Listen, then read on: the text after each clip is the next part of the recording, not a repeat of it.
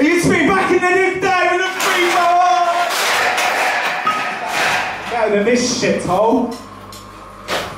Run teams.